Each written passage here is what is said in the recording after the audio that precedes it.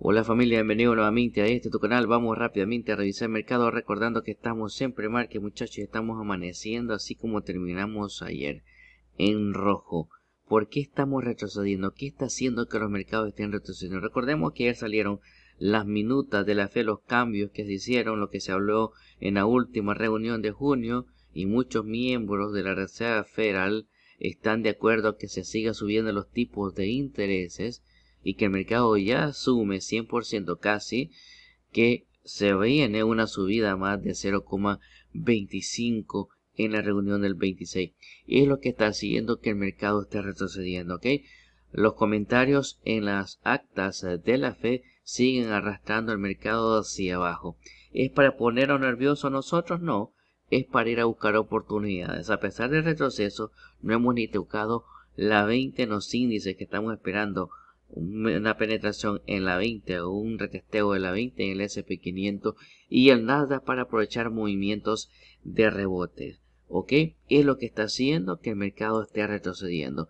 Esta noticia que recibimos el día de ayer, que se esperan más subidas en los tipos de intereses según las minutas de la Fed. ¿Ok? Vamos a pasar a revisar muchachos el calendario que tenemos para hoy día porque tenemos datos económicos muy importantes que pueden seguir moviendo el mercado. Vamos allá. Que lo tenemos acá muchachos, ¿ok? A las 8 y 15 tenemos los datos de empleo del sector privado. 228 mil se están esperando a primera hora. Vamos a ver si esto es capaz de mover el mercado dependiendo de cómo salga.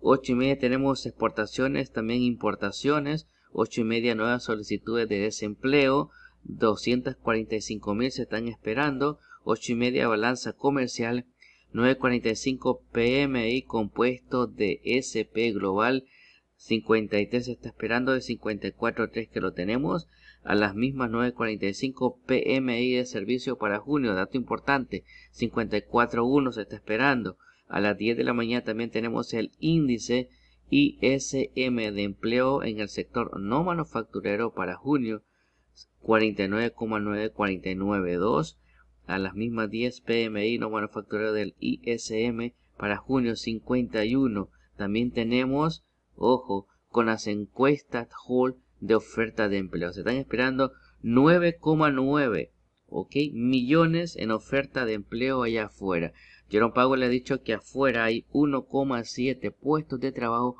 por cada desempleado. Son los datos económicos que estamos esperando para el día de hoy, datos que pueden mover, cambiar el rumbo del mercado o hacer que sigamos retrocediendo. A estar pendientes conocerán estos datos de empleo, ¿ok? A primera hora a 8.15 de la mañana. Mañana, viernes, tenemos otro dato importante que es de empleo, pero el sector de gobierno, los datos que nos entrega el gobierno, son los datos que el mercado le presta mucha más atención que a esto del sector privado. Pero vamos a ver cómo se mueve cuando salen estos datos a las 8 y 15. ¿Seguimos tumbándonos o nos podemos recuperar dependiendo de cómo salgan todos estos datos que estamos recibiendo el día de hoy? Los PMI también son importantes, ¿ok? Porque son datos que muestran cómo está la economía allá afuera. Pasamos a revisar el barómetro, como lo tenemos ahí, lo teníamos un poquito más elevado a 9,8 en el cierre, hoy lo tenemos 88% de probabilidades, pero siguen siendo muy altas las probabilidades de que la Reserva Federal suba a 0,25. Esto no es lo que la Reserva Federal está pensando. Esto es lo que el mercado piensa que va a ser la Reserva Federal, ¿ok? Con esto pasamos muchachos a revisar noticias que tenemos. Vamos allá.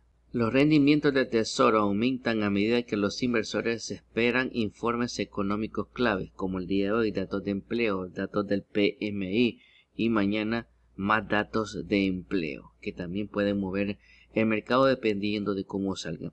Dependiendo de cómo salgan todos estos datos económicos, así se va a mover el mercado. Si todos estos datos de empleo superan las estimaciones por mucho, tanto los del sector privado el día de hoy como los del sector de gobierno mañana, podríamos seguir retrocediendo en los mercados.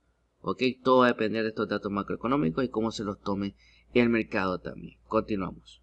Además tenemos que la secretaria del Tesoro llega a China en misión para encontrar un terreno común para Estados Unidos y China. Recordemos que las tensiones están muy fuertes entre los dos países en este momento. La caída mundial de las materias primas alimenta los temores de un futuro económico sombrío. Los precios de las materias primas están cayendo, lo que pone de relieve un desplome económico mundial y el riesgo de recesión, dijeron observadores del mercado. Hoy tenemos muchachos el lanzamiento oficial okay, de la aplicación de textos Trade que es competencia muy fuerte contra Twitter. Continuamos. Además, el petróleo rebota máximos de dos semanas mientras Arabia Saudita dice que la OPEP hará lo que sea necesario. Esto significa, muchachos, que están insinuando más recortes en la producción. ¿Ok? Que la OPEP va a hacer todo lo posible para que para encarecer más el precio del crudo. William de la Fed de Nueva York dice que apoya al 110% la pausa agresiva que hizo la Reserva Federal en junio, pero que aún están lejos de alcanzar el objetivo del 2% de llevar la inflación y que sigue apoyando más subidas también en los intereses. Recordemos que es lo que mostraron las actas ayer de la Fed. Más subidas es lo que dijo también eh, Jerome Powell, que vienen más subidas, posibles dos subidas más en tipo de intereses de 0,25. Todo va a depender de datos de inflación como están allá afuera, la fuerza laboral también mencionó lo de la renta, que fue lo que hizo que elevara el CPI en la última reunión y que esto tiene que empezar a retroceder un poco. Vamos a ver qué nos dice el 12. Recordemos que la próxima semana estamos recibiendo nuevamente datos de inflación. Ya sabes que son dos factores dentro del CPI que están haciendo que esto esté subiendo. ¿Ok? La renta y servicios. Continuamos. Además tenemos que Banco América subirá el dividendo un 9%. Además tenemos que el legendario inversionista Jeremy Graham dice que el mercado de valor tiene un 70% de probabilidades de colapsar y que podría ser un estallido épico como la crisis de 1929. ¿Va a ser así? Nadie lo sabe, nadie tiene la bolita de cristal para adivinar el futuro, pero si esto sucede y tenemos un colapso en bolsa, lo que vamos a buscar nosotros son oportunidades. No es para ponerse a llorar. ¿Ok? Nos hemos estado preparando para esta situación si ocurre. Si no ocurre, el dinero no nos estorba en mano. Seguimos operando los mercados. Recordemos que esto es impulso y retroceso. Y cualquier retroceso que haya en mercado brusco, oportunidad. Además, Tesla y sus rivales chinos señalan una tregua en una brutal guerra de precios de vehículos eléctricos. Se están poniendo de acuerdo a que no se reduzcan mucho los precios de los vehículos. Vamos a ver si esto sucede, si lo cumplen o no. Otra cosa que nos mostraron las minutas de la FED el día ayer es que algunos miembros de la Reserva Federal querían más subir los tipos de interés en junio, pero acordaron una pausa y una posible subida, ¿ok? Este mes. Subida en julio, pausa, recordemos que en agosto no hay reunión, subida septiembre, y después dejar los tipos de interés ahí por mucho tiempo. ¿Hasta cuánto? No sabemos, ¿ok? Muchos dicen, analistas, que la Reserva Federal va a empezar a recortar interés este año. Otros dicen, no, lo va a hacer el siguiente año 2024, comenzando en marzo. Veremos si esto sucede así. Ya sabemos que cuando ocurre el pivote, ¿ok? ¿Qué es el pivote? Es el cambio que da la Reserva Federal, que en lugar de subir empieza a recortar intereses, pero esto lo hace siempre cada vez que truena algo en la economía. Y cada vez que se hace este cambio, los mercados se vienen hacia abajo. ¿Ok? También estamos esperando esa situación en los mercados. Si sucede, oportunidad. ¿Ok? Todo retroceso que haga el mercado bruscamente hacia abajo cayendo un 10, un 16 un 20. Lo que sea que caiga hacia abajo, un SP500 o un Nasdaq, son oportunidades. Porque ya tenemos los pisos marcados, ya tenemos las zonas atractivas para nosotros. ¿Ok? Las zonas que estamos esperando, ya conocemos el movimiento del mercado. Que estos instrumentos hicieron para seguir subiendo. Si no, solo fíjate dónde los tenemos en este momento. Casi tocando los sueltas high nuevamente. ¿Ok? Que vamos a seguir cayendo esto es impulso y retroceso. Y los retrocesos no se han acabado aún. ¿Ok? Pero el mercado tiene mucha fuerza para seguir subiendo. Tiene toda la intención. Retroceso, buscando liquidez para tratar de seguir subiendo lo que está haciendo. Viene buscando la 20 nuevamente. Y para esto, para explicártelo mejor, Vámonos a la gráfica, muchachos. Vámonos, vámonos allá de una. En pantalla tenemos SP500 4446, así como cerramos el día ayer. Se encuentra casi en la misma posición, movimiento que puede ser hacia abajo.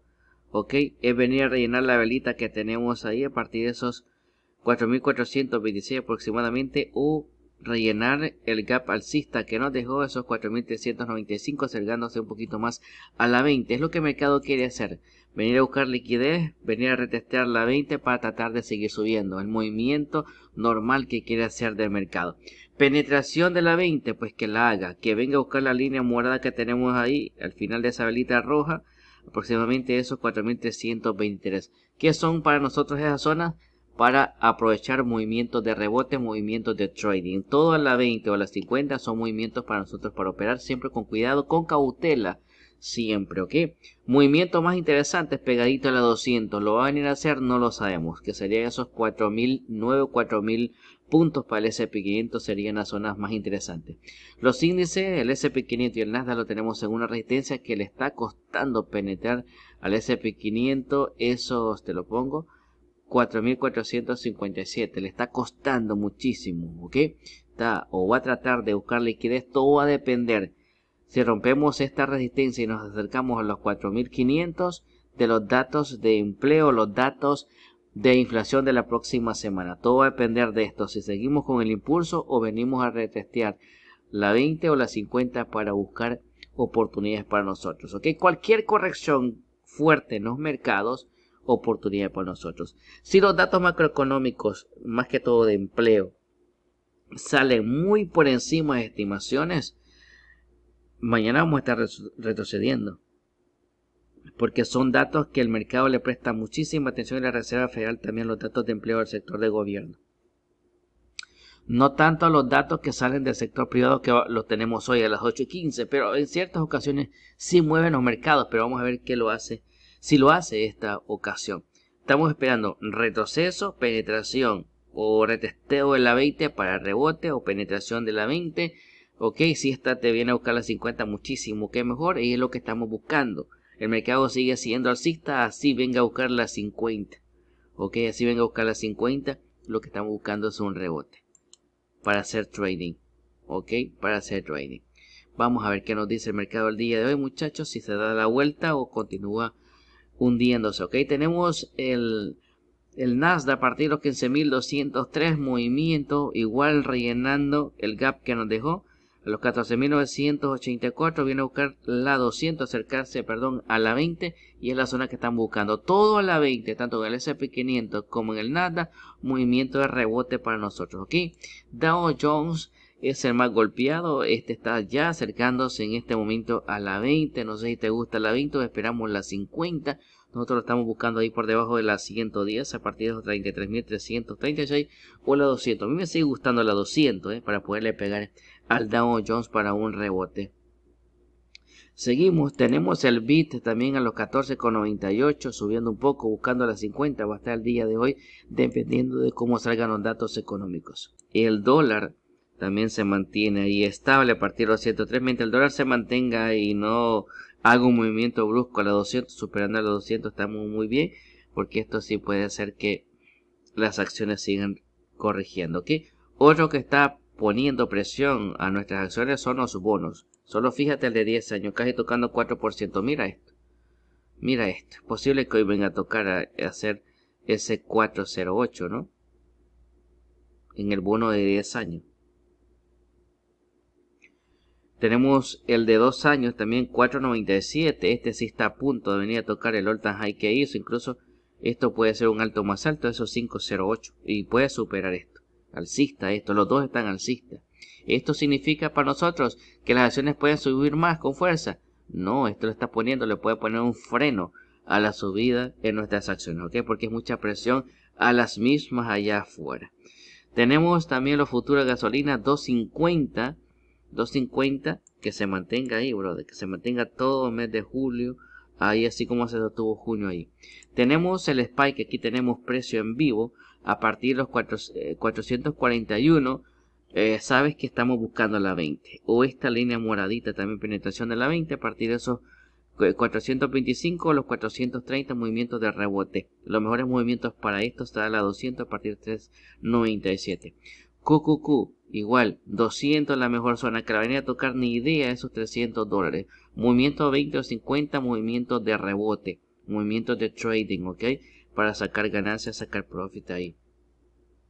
El día 341, si te gusta la 20 o la 50, a partir de esos 3.35 o seguimos esperando los 3.26, 3.27. El BA 45 no hacemos nada, al menos si te gusta a ti. En ese cruce de líneas muele a partir de los 45 seguimos esperando la 200. Eh, Smoka 185 cerrando el día ayer, 184 eh, pegadito a la 20. ¿Te gusta o esperamos el cruce de muele? A mí me gustaría el cruce, ¿no? 178 por lo menos para hacer un trade, porque las zonas para acumular esto van comenzando a partir de los 170 a 169. BO 405, ahí no se hace nada. 20 o, la 50 para un posible rebote. BNQ 84, ayer es un movimiento bonito, ¿no? Esto nos gusta a los 80, por debajo de los 80. O si viene a tocar el cruce de líneas mueble a partir de los 81, si estamos pensando a largo plazo. Ok, pero cuidado con bienes raíces siempre, muchachos. Semiconductores, 500 dólares cerrando el día de ayer, pegadito a la 20. Zona técnica, volvemos a tener nuevamente. Si seguimos así, es posible que penetremos la 20 y nos dé esos 487. Sería una zona más interesante. También la zonita de los 473, pegadito casi a la 50. Ok, para pegarle a ese OXX. Si no quieres eh, compañías individuales de semiconductores. Tenemos igual pegadito a la 20, zona técnica, eh, puede penetrar también y te puede dar los 146 o te puede dar los 144, que también sería una zona para, para trading. Las mejores zonas para los dos están a la 200 a partir de los 118 son las mejores zonas, ¿ok? Ya sabes que los sitios de los bancos están aún en zonas interesantes ahí donde la tenemos. Vamos a revisar TAN, esto es energía solar 69. No sé si te gustan los 69 o seguimos esperando por lo menos los 63, los 60 o esos 55. Tenemos mercado emergente también 39. Estamos buscando la 200. En este momento está a partir de los 39 con 26 pegaditos a las 50. Estamos buscando esta zona. Porque el que trae esto desde los 33, muy bien, hasta ya sacaste algo de ganancia, algo de profit. Tenemos a BTI 220, ahí no hacemos nada. Estamos buscando 20 o 50 para hacer algún movimiento, están demasiado extendidos ya, ¿eh? O la 200, que sería la mejor zona a partir de los 198. Aquí 20 o 50 son movimientos de rebote. BT 96, el mismo movimiento tiene que BTI. Vamos a la 20 50 de rebote. Esta zonita por debajo de las 110 a partir de los 90-91, también una zona de interés. Tenemos a Cruz, esto es cruceros, aerolíneas, ok, y hoteles a partir de los 99-65, brother. Si tú estás en cruceros, si tú estás en aerolínea, saca ganancias porque tarde o temprano se puede venir una corrección también en ese sector porque están demasiado extendidas, ¿ok? Nos pasamos a las gráficas de las acciones, muchachos. Quiero que veas CCL dónde está. Quiero que veas las aerolíneas, que veas dónde están. Demasiado extendidas. Y una corrección se puede venir ahí. ¿Ok? Se puede venir. Y después no se te extrañe porque ya lo hemos visto. Ahí a los 19, 20 dólares. Si nosotros tenemos a CSL, no estoy diciendo que vayas a sacar toda tu posición, por lo menos sacar algo.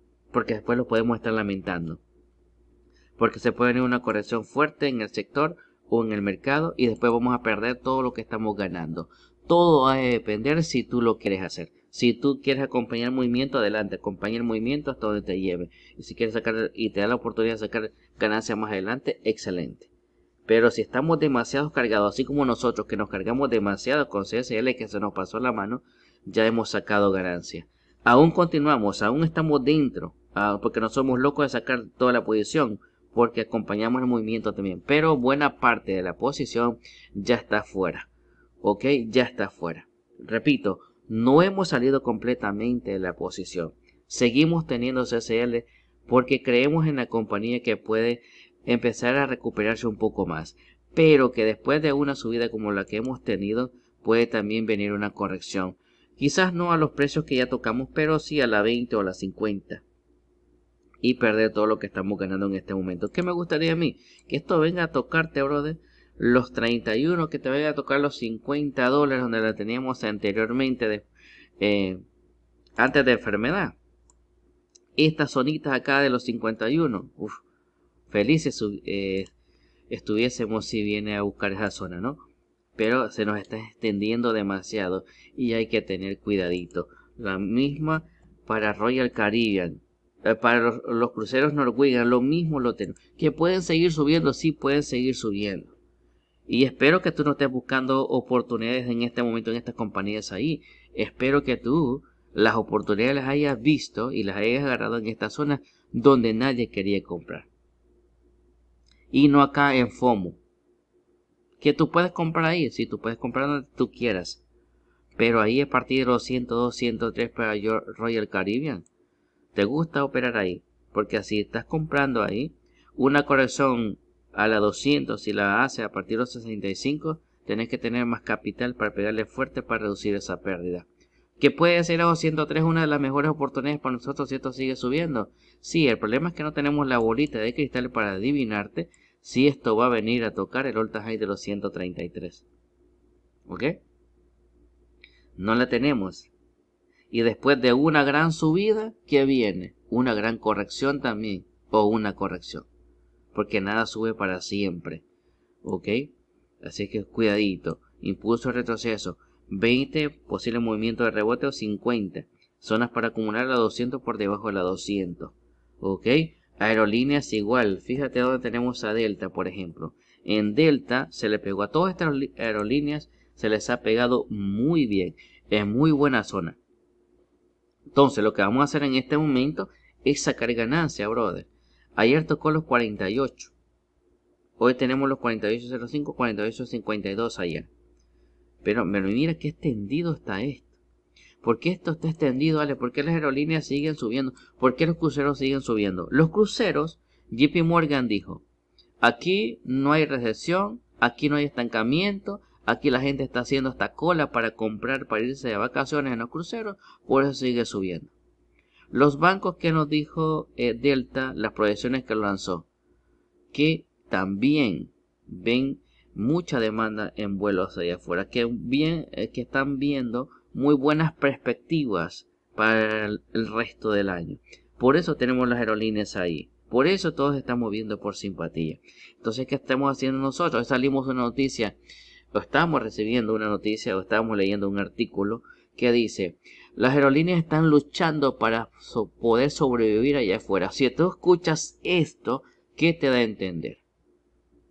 Que tarde o temprano se puede venir una corrección acá o cuando presenten la misma compañía Sony, recordemos que la mayoría de sus los han presentado no tan buenos. Las perspectivas están siendo bien, pero esto puede cambiar. ¿Ok? Pero ahí está. 48 una zona para poderle pegar alejado de la 20. Yo no operaría ahí. ¿Cómo me va a gustar a los 48 dólares Delta? Si no me gustaba a los 31, si no me gustaba a los 27 porque decías, oh, y va a caer más o, las aerolíneas están endeudadas a la, hasta, hasta el tope. Ya sabemos que las aerolíneas y los cruceros están endeudadas hasta el tope. Pero cuando una compañía de esta nos da una zonita que estamos tocando precio de 2020 cuando estamos en plena enfermedad, no se desprecia, por lo menos para hacer un trading. Y ese trading te está dando oportunidad el día de hoy para sacar ganancia. Repito, con esto que estoy diciendo no es para que tú te vayas loco a vender todo esto, no. Lo vas a hacer, sacar algo de ganancia, algo de profit, siempre y cuando tú así lo decidas. Si tú dices, mira, mi intención es de llevar a Delta para largo plazo, pues sostén a largo plazo. Y si esto te viene a buscar nuevamente los 31, si esto te viene a buscar nuevamente los 27, lo que vas a hacer es acumular más, comprar más. Porque como no quieres estar sacando ganancia acá, pues. ¿Ok? Que puede seguir subiendo. Sí, esto te puede seguir subiendo. Esto te puede venir a tocar la zonita de los 51. Felices si eh, fuéramos si lo viene a tocar, ¿no? Y estamos a punto de venir a tocar ese doble techo. Ojalá que lo haga. Ojalá que lo haga. Si nada sucede en los mercados, ¿eh? eh si nada sucede, porque puede venir a buscar la 20 también. Y a la 20 puede ser un movimiento técnico. Eh, si tú te fijas, está haciendo una pequeña pauta ahí, esperando a la 20. Se puede quedar haciendo un pequeño rango esperando a la 20 también. Tenemos a Carepila a partir de los 2.44. Eh, no se hace nada los 2.44 ahí. No se hace nada. Esta me gusta a partir de los 194, 162, que sería la zona interesante si la viene a tocar nuevamente. Disney zona para acumular. Zona para acumular los 89, 88. Si nos viene a buscar la parte baja de los 84, si te viene a buscar la zona de los 79, que esta es la zona de los 79, si nos fijamos, es la zona parte baja que vino a tocar en 2020 cuando estamos en plena enfermedad. ¿Recuerdas, no? El retroceso enorme que hicimos. Esa zona puede venir a buscar Disney. 145 el fair value. Ok, tenemos a Draskin también. 26 Draskin alcista. Pegadito a la 20. Pegado a la 20. Penetración de la 20. Pegadito a la 50 son zonas técnicas de rebote. No me gusta ahí para acumular. Aunque puede seguir subiendo esto. ¿eh? Me gustaría la 200 a partir de los 17. La zonita que se, se te trajeron acá a partir de los 9, 10, 11 dólares, 11.48. Ahí es para sacar ganancias. Electronic Art a partir de los 129 no se hace nada en Electronic Art en este momento. Electronic Art la zona la tenemos a partir de los 114 hacia abajo. Énfasis Energy a partir de los 165. Estamos buscando la zonita de los 154, 150 para hacer algún movimiento de trading. XI 85. Estamos esperando los 80 para un posible rebote a la 20 o la 50. Estaríamos comprando una compañía sobre su fair value que son los 71. Ok, me gustaría comprar los 71 o por debajo de su fair value. Estamos comprando sobre el fair value y esto es lo que no nos gusta hacer a nosotros, ¿ok? Sí, porque cuando sucede algo con la misma compañía o allá fuera el mercado empieza a retroceder, lo que van a venir a buscar las compañías, va a quedar redundancia, es su fair value, donde sea que esté, ¿ok? Que lo tengas abajo del precio o arriba del precio, siempre lo vienen a buscar. Tenemos a Ford, ahí nos, otra, mira, es para sacar ganancias en un doble techo. ¿Qué? Doble techo, pequeño retroceso, que puede ser a la 20 o a la 50. Tenemos a General Motors que entregó también muy buenos números para el trimestre. Vamos a ver dónde la tenemos en este momento a General Motors que ayer nos dieron esa noticia. ¿okay? 39,42 cerrando el día ayer, 1,18. Las zonitas que se le ha estado pegando estos son a partir de los 31 o los 32. Ok, retrocediendo la tenemos a partir de los 39.02 en este momento pero también te dio la oportunidad para sacar ganancias. Todas aquellas compañías que le hemos agarrado a muy buen punto y tú haces trading con las mismas, reducimos posiciones, ¿ok? Las grandes, vamos a ir a, los, las grandes ahora. Las grandes como Google, por ejemplo. Si tú las cogiste el año pasado en la corrección de octubre, esta caída que tuvimos acá, o en marzo de este año que también tuvimos una corrección, recuerda, ¿no? En marzo tuvimos una corrección que fue esta a partir de los 89. Si tú tienes esto desde ahí, brother, como te lo dije ayer, yo no soy tu asesor financiero ni pretendo serlo. Pero estas compañías las puedes llevar para mucho más tiempo. Que te pueden hacer ganar muy buena plata si esto viene a acercarse a su fair value, superar el fair value o nos viene a tocar, ok, la zonita alta del Alta High de los 151 y lo supera porque te lo va a superar tarde o temprano Google, ¿ok? Te lo va a superar, te va a hacer un alto más alto y te va a seguir subiendo, porque esta es una máquina para hacer dinero, ¿ok? 121 en este momento. ¿Dónde vamos a buscar nosotros? La parte baja, ¿ok?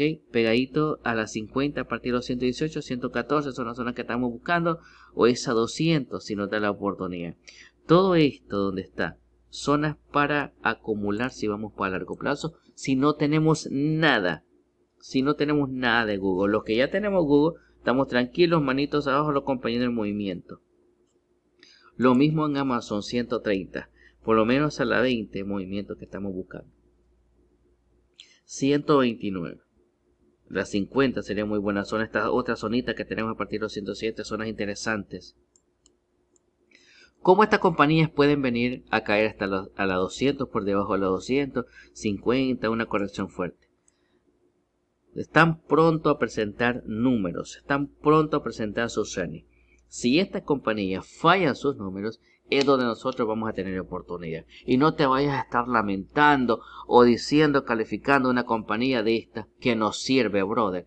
Es la oportunidad que estamos buscando porque tú fíjate cómo las tenemos. Se nos están escapando, aunque Amazon y Google, yo sigo viendo oportunidad.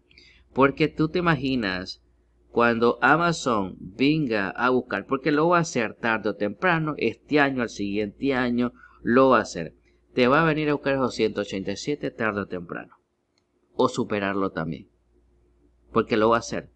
Esta no se va a quedar ahí estancada. Esta te va a venir a tocar esta zona y te la va a superar. Paciencia sí vamos a tener. Mucha paciencia. ¿Ok? Y si retrocede, seguimos acumulando. Aquí, si el dicho cabe, cae más, compramos más. Porque este dicho no es para todos los activos financieros allá afuera. ¿Ok? Tú no vas a estar pensando eso. Cae más, compro más en un penny stock. No, compro más y cae más de esas compañías que salen de repente que valen un dólar y después valen 100, 200 dólares. No, no, no. Ahí entras y sacas ganancia y, y, dice bye bye baby. Si me acuerdo de ti, bueno, si no, también. ¿Sí o no? Así se operan los mercados. No todas las compañías cabe el dicho de que cae más, compramos más. O de que está barata, compro más. No, no, no. Hay que ver por qué eso está ahí abajito. No solo uf, ir a meter. Seguimos muchachos, vamos a seguir con Apple, ¿no? Nos quedamos a partir de los 191, no se hace nada, estamos esperando la 20, Tesla igual, 282, no se hace nada, estamos esperando como mínimo la 20 para hacer un movimiento de rebote. Meta con este lanzamiento de la competencia de Twitter también le está yendo muy bien. 298, brother, ya para Meta. 298. Ahí no hacemos nada. ¿Ok? Si tú operaste desde el movimiento la semana pasada a partir de los 2.84 o si tú operaste y te arriesgaste el día de ayer, ahí o si sigue subiendo, supera los 300 dólares, sacar ganancias, siempre y cuando tú así lo decidas. ¿Ok? Tenemos a Microsoft a partir de los 3.38 también, ya te dio movimiento a la 20. Nvidia 4.23 también te dio un movimiento pegadito a la 20, acompañamos el movimiento, zonas interesantes la parte alta de ese gap que tiene. AMD 113, estamos buscando las 50 a partir de los 107 por debajo de los 107. Estamos también con TSM a los 100, movimiento técnico pegadito a la 20, seguimos esperando las 50 es 94 o la 283 que es la zona que a mí me gusta. Tenemos ASML 715, estamos esperando la 200 en esto. Intel también estamos esperando los 28, no sé si nos va a dar esa oportunidad Intel. Qualcomm los 113 o los 104, dependiendo de cómo venga, porque también tenemos que estar vigilando la fuerza con la que viene la vela y el volumen, porque si tú ves que un activo financiero viene cayendo y incrementa el volumen, cuidado, ¿ok? Eso es para seguir retrocediendo más. Así que vamos a ir con cuidado. Si te gusta ahí 113, o esperamos los 104. O la zonita doble piso de los 100 dólares, por debajo de los 100 dólares también. Tenemos a Bracon, 861 no se hace nada. 20 zona técnica, aún si viene a tocar la 20, le veo demasiado caro esto, ¿ok? Tenemos a Micron Technology 62, vamos a ver si nos da la oportunidad a la 200 se acerca un poco más a la 200. 61,28. La 200 la tenemos a los 58. 200 es la primera zona que tenemos ahí. Si tú agarraste los 110, 200 puede ser tu próximo movimiento o la vamos a esperar a partir de los 50 los 49 o la zonita de los 52 dólares. Cuidado. Ok. 200 es una zona interesante para Microtechnology. Texas Instruments 160 estamos buscando. Tenemos a Airbnb que no se hace nada, tenemos a Adobe tampoco que estamos haciendo nada a partir de los 487, ahí no se hace nada, al menos que tú veas oportunidad. 487, que puede seguir subiendo más, sí, pero estamos buscando una zona más atractiva. No sé si a ti te gusta que está respetando muy bien ese rango que está haciendo ahí. A mí me gustaría, brother, por lo menos a las 50, 200 suena interesante. Recordemos que cuando tenemos esta zonita o esta formación, cualquier movimiento a la 200 es una de las mejores oportunidades que podemos agarrar. Ojalá que lo haga eh, Adobe, ok. Tenemos CRM, no hacemos nada. Tenemos en Netflix 445, tampoco estamos haciendo nada. Estamos esperando por lo menos la 20. Es que si tú te fijas, en muchas compañías no tenemos oportunidad. Estamos esperando por lo menos para un movimiento de rebote, un movimiento técnico. Tenemos a FIR que estamos esperando a los 13, la tenemos a los 15 con 42. Movimiento o cruce de oro que está ocurriendo ahí. Ojalá que lo venga a tocar. Uh, ahí estamos cerca, muchachos. estamos cerca de ese cruce de oro. ¿eh? Podríamos hacer un movimiento de rebote ahí. ¿eh? Este cruce a partir de los 14 con 10. Ok, un poquito más para arriba si lo hace pegadita la 110, 14 con 15. Podríamos operar ese, ese movimiento porque ese movimiento puede ser eh, que nos puede lanzar nuevamente a los 19,51 aproximadamente. Si lo perdemos, si lo perdemos, la vamos a esperar a los 8,78 para hacer un segundo movimiento para operar FIR, ¿ok? Pero ahí lo podríamos hacer por un posible rebote, no se ve nada mal, estamos a punto de ocurrir un cruce de oro, si el precio se junta con el mismo cruce, ese movimiento puede ser fuerte, pero necesitamos una noticia también de la compañía para que ocurra esto, ok, porque eso es técnicamente, pero tenemos fundamentales allá muy fuertes también afuera de las compañías que pueden cambiar el curso de un análisis técnico, porque el análisis técnico siempre tiene que ir acompañado también de fundamental, que no se nos olvide. Análisis fundamental de una compañía donde nosotros queremos operar, por favor. Ok, tenemos ahí inteligencia artificial a partir de los 39, eh, yo no hago nada ahí. Manitos abajo, tenemos Activision a partir de los 82, tenemos también, no se hace nada a los 82, tenemos a Boeing a partir de los 3, 2.13, tampoco se nada, está esperando la 200. Eh, tú sabes que tenemos esos 29 28 en zonas para seguir acumulando. Banco América que está subiendo su dividendo a un 9%. 29, 28, no sé si te gusta para llevarlo mediano, mediano o largo plazo. Yo no lo veo nada mal a los 29 para Banco América, porque los otros bancos están todos demasiado extendidos. Mercado chino, eh, las zonas que estamos buscando o las compañías que están buscando en China son Baba a partir de los 83, 80 o por debajo de los 80 y la otra que es JD, que son las dos que están más atractivas en el mercado chino. ¿Ok? Si queremos hacemos algún movimiento ahí o seguimos esperando las zonas que estamos buscando. 80 en Baba, ojalá que la dé. Y acá a partir de los 32 por debajo de los 32. O las zonitas donde están si estamos pensando en largo plazo. Spain también lo está haciendo muy bien. Todo lo que es vehículos eléctricos lo está haciendo muy bien después de las entregas que hicieron las mismas compañías o las entregas que hizo Tesla, ¿ok? En el último reporte de entregas y de producción. 14 ahí es para sacar ganancia en Spain, ¿ok? Seguimos muchachos, oportunidades donde tenemos, pues oportunidades tenemos, posible oportunidad, en Starboard, ¿ok? Starboard nos está dando, me gustaría los 96, ¿no?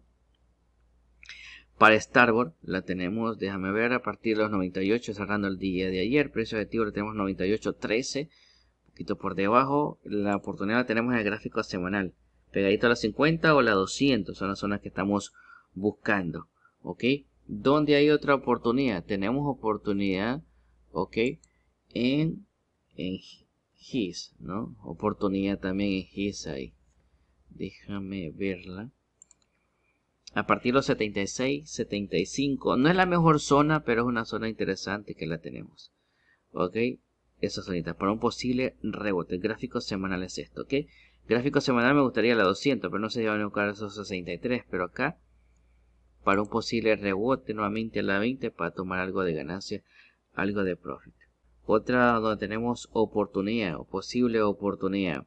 Victoria Secret, muchachos. Victoria Secret Victoria Secret 19, mira, rebotó ayer Victoria Secret 19, 38, 19, 28 en el pre-market.